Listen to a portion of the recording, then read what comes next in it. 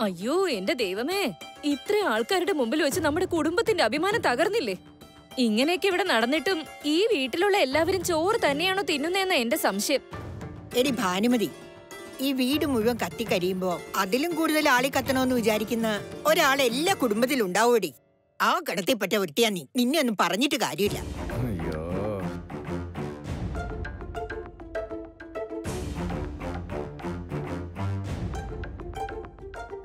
ചേച്ചി. ചേച്ചി മധുമതി മോളെ എവിടെ? അതെ ഏട്ടത്തി. ഗ്രാമസഭയിലെ എല്ലാവരുടെ മുമ്പിൽ വെച്ച് നാണം കിട്ടില്ലേ? ആ മധുമതി എന്തെങ്കിലും പറഞ്ഞാ എന്റെ മുഖത്തടിച്ച പോലെയല്ലേ ഏട്ടത്തി മറുപടി പറയാറ്?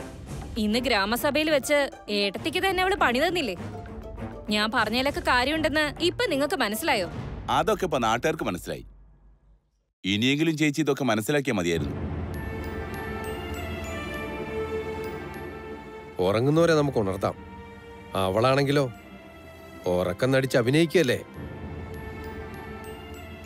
ഇപ്പോഴും ഭാർഗവിക്ക് മനസ്സിലായിട്ടില്ല. എന്തിനു പറയുന്നു?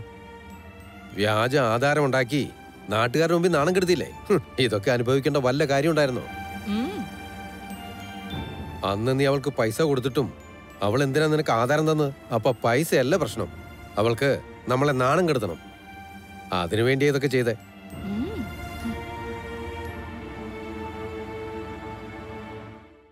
അല്ല ഭാർഗവി മധുമതിയാണ് ഈ ആധാരം മാറ്റിയിട്ട് വ്യാജ ആധാരം തന്നതെന്ന് നീ കരുതുന്നുണ്ടോ? അവൾ അങ്ങനെയൊന്നും ചെയ്യില്ല ചേച്ചി. എനിക്ക് വിശ്വാസമായിരുന്നു. അതൊക്കെ ആയിക്കോട്ടെ. ഇപ്പോഴും വിശ്വസിക്കുന്നുണ്ടോ? ഇനി അവളെ വിശ്വസിച്ചാലേ അത് ഏട്ടത്തിക്ക് തന്നെ നാണക്കേട്. അവളുടെ ഭാഗത്തെ ശരിയെങ്കിൽ എന്തുകൊണ്ട് വീട്ടിലേക്ക് വരാത്തെ?